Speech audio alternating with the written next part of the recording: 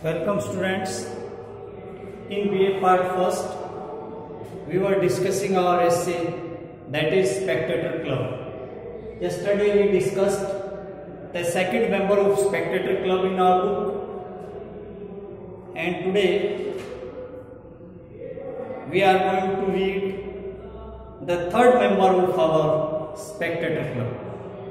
As in very starting, we discussed that the spectator club is a fine example of characterization. What the characterization is? Characterization in which writer provides the details and uh, the various types of features, the merits and demerits in one view, in one sheet. If a writer provides clear statement, clear behavior and conduct जिसको we can say the parts and merits as we discussed in the detail of our first member sir roger we are discussing about the detail in which writer provides various types of the conceptions related to sir roger in last video yesterday we discussed about second member and uh, we also described that writer never presents uh, his name and uh, we are calling him only lawyer as the member of inner temple. But today, in third video of this essay, we are just going to read our third member, that is the third member. And uh, the name of third member, writer also provides the name of third member, Sir Andrew Freeport. You are requested to come on book that is page number page number 8 third member. The name of third member writer presents his name sir andrew freeport. Sir andrew freeport as in very starting we discussed every member of spectator, spectator club belong to different profession. And in this type of different profession we discussed about the first member and the first member was a very reputed person. In the second member we discussed he belongs to the profession of law as he was a lawyer. And today in third member again there is a next profession that Sir Andrew Freeport was a businessman, a vyapari belonging to the marketing, trade and commerce. In this type of uh, character which we are going to read now still speaks about various types of the thoughts and the views related to the personality and character of Sir Andrew. Now you just come and read in your book. I am repeating the line. The person of next consideration is Sir Andrew Freeport. The person of next consideration means in our company in our club, the person on which we are going to consider now, on which we are going to discuss now, on which writer is speaking now, that is the person and uh, he is Sir Andrew Freeport. Sir Andrew Freeport is third member and uh, writer now presents the detail a merchant of great eminence in the city of London. Eminence very प्रतिष्ठित बहुत अच्छा जाना पहचाना नाम था ये merchant of great eminence very popular and a famous merchant था merchant businessman था एक व्यापारी था in the city of London London शहर के अंदर. तो we know that the third member of spectator club is a great businessman and he was a merchant his name is sir Andrew तो same as the profession the features of Sir Andrew also dealing with the trade market and related to the commerce. A person of indefeasible industry. परिश्रम इतने ज़्यादा परिश्रमी व्यक्ति था कभी थकता नहीं था। You can understand a very great hard worker a very you can say person dedicated towards the business totally dedicated towards his trade and market अच्छा व्यक्ति था। Strong reason very logical person था। बड़ा तार्किक व्यक्ति था एंड ग्रेट एक्सपीरियंस और we can say that he was an experience business अच्छा बिज़नेस का अच्छा उसको मतलब अनुभव था।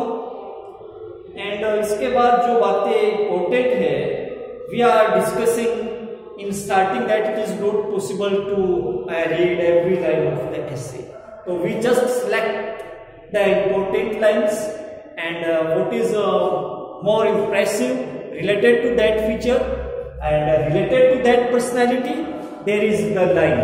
जो राइटर ने लिखी है, सबसे important line sir Andrew Freeport की ये है कि he was a totally businessman और according to the feature of a businessman his views his ideas are also related with businessman लेकिन one thing that is very important here that is very you can say likely to be observed in the behavior of Andrew Freeport. That he was the fond of various maxims and proverbs. कई प्रकार की कहावतें और जो मुहावरे होते हैं, उनका वो बड़ा शौकीन था।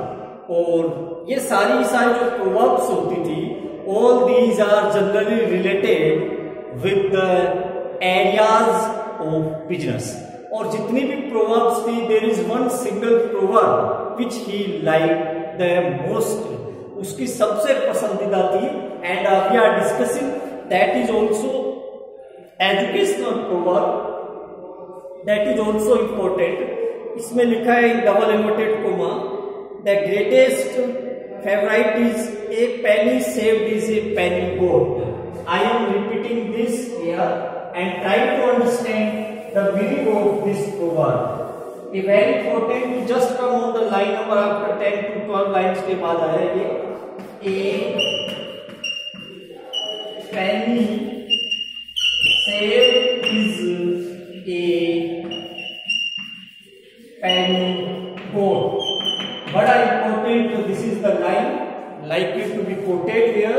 A very remarkable proverb. A penny saved is a penny goat. penny that is a symbolic word you can use it as the minimum scale of money in our local language we can speak it about paisa in common language you can say about it एक रुपया भी नहीं you can say about a पैसा a penny save अगर अपन ने एक पैसा बचाया इज ए penny गोट इसका मतलब आपने एक पैसा प्राप्त कर लिया we are describing it clearly that if you save one rupees, single one rupee, if you save single one rupee means today, complete day, there is total expenses by you and then you can save five rupees. Suppose that today all of your expenses you can save five rupees today.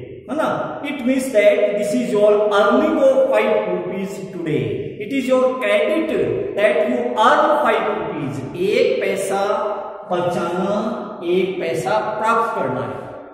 Saving is the productivity as we are cooling in the matter of electricity जैसे बिजली के बारे में there are various slogans by electricity department और electricity department you listen that the electricity is limited and saving is its production इसकी बचत ही उत्पादन है। तो this is also linked a penny save is a penny got if you save one single penny that means you are going to earn that one single penny इसके बाद एक अच्छी बात उसने और कही है। लिखा इसने a general टैड of good good sense is presenter company than a general scholar बहुत अच्छी बात थी that is not a universal never consider any line of an essay as the universal truth that is the sentiment of the writer a general trader एक सामान्य व्यापारी of good sense लेकिन बुद्धि अच्छी हो, जिसके पास दिमाग अच्छा हो इज़ प्रेजेंटर कंपनी वो ज़्यादा अच्छी कंपनी हो सकती है देन ए जनरल स्कॉलर एक सामान्य विद्वान की बजाय. यानी राइटर ने स्कॉलर की बजाय व्यापारी को ज़्यादा अच्छी कंपनी वाला बताया according to writer a person that has the knowledge of business is more better it is good company than there is a company of a great scholar एक विद्वान की बजाय एक बिजनेसमैन जो व्यापारी है, अच्छी बुद्धि वाला, उसकी संगति ज़्यादा बेटर होती है। तो this is an important matter related to the aspect of business this is the views of writer we never discuss about anything एक इसने इंपॉर्टेंट बात और बताई। You just come on same page same paragraph line number six seven पे आइए। He is acquainted with commerce in all its parts. He is acquainted, वो परिचित था, acquainted था with commerce व्यापार से। इन ऑल इट्स पार्ट व्यापार के सारे पार्ट से every aspect related to trade and commerce means as he was a businessman तो it is a natural habit in the that he was very well familiar with every part of commerce और उसने लिखा है and will tell you that it is odd and barbarous अच्छी बात है।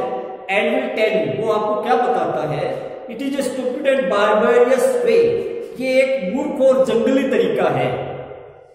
To extend dominion by arms अगर आप शस्त्र से, अपनी भुजाओं से, अगर अपने व्यापार का क्षेत्र बढ़ा रहे हो, डरा धमका करके, शस्त्र का प्रयोग करके, अपने बाहुबल से, अगर आप अपना व्यापार बढ़ा रहे हो ये एक मतलब वो आपको कहेगा कि जंगली तरीका है मूर्ख तरीका है। It is not a good way to extend your business means right to provide how to extend your business how we can extend our business how we can extend the limits of our business and he prevent He says that it is a very dirty way, it is a very bad way, it is a very stupid and barbarous way.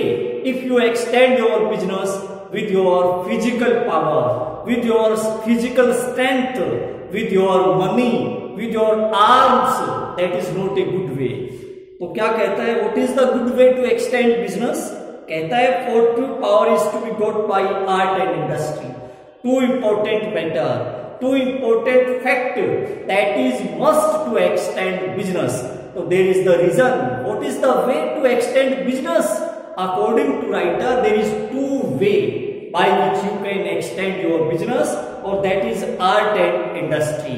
आपकी मेहनत आपकी कला art means kala that is art how to extend business there is two type of the method two type of the ways on which writer gives more importance that you can extend your business with industry means your hard work, your dedication towards business and second your art, your mind, your strategies how to extend business. So these are the basic features related to our third member that was Sir Andrew.